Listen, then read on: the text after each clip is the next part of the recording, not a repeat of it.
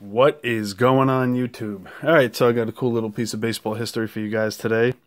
Um, what I picked up was a 1914 B18 blanket of Frank Chance of the famous double play combo of Tinker to Evers to Chance.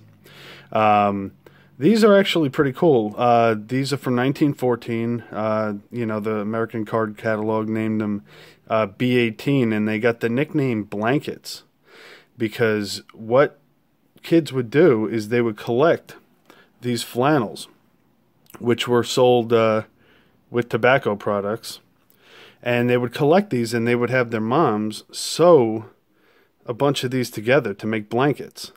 Now imagine how cool that would be to have a complete blanket of uh, some of these greats. Uh, this is pretty cool. This is from uh, Frank Chance's last year as a player. You could see he was playing for the Yankees at the time.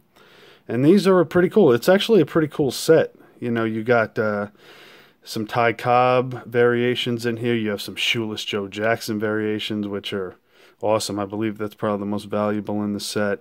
Uh, you know, names like Walter Johnson and, uh, you know, a number of other great Hall of Famers and stars. But these are pretty cool. These are actually not uh, that expensive, um, considering how old they are and some of the players they depict. Um, but yeah, this was uh, this was a pretty nice pickup. Definitely a nice little uh, piece of baseball history. So uh, yeah, so this is my 1914 B18 blanket of Frank Chance. So I hope you guys enjoyed this video, and as always, I will see you guys next time.